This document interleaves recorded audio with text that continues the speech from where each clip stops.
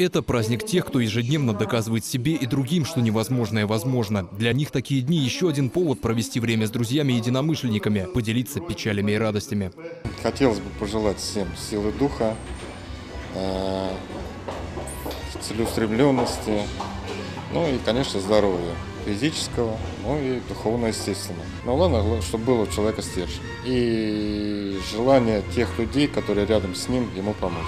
Торжественное мероприятие получилось по-настоящему радостным и искренним, хотя и не без споров о том, стоит ли называть праздником Международный день инвалидов. Это, конечно, надо сказать, что это все-таки праздник. Потому что праздник общения, праздник встреч, праздник э, просто увидеть друг друга, в добром здоровье, по крайней мере, какое оно есть, по крайней мере, на сегодняшний день. Можно считать это и праздником, поскольку сегодня все-таки звучат и песни и в нашем Доме культуры, и поздравления.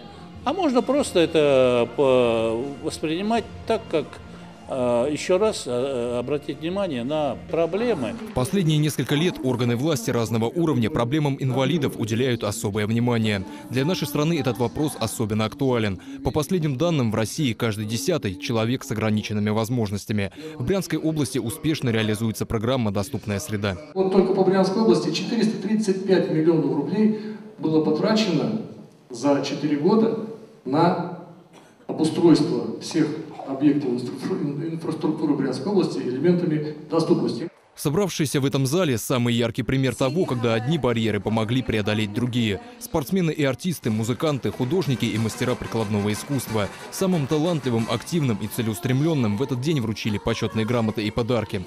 Торжественная церемония продолжилась концертом. Артемий Маркелов, Иван Зюрев. События Брянск.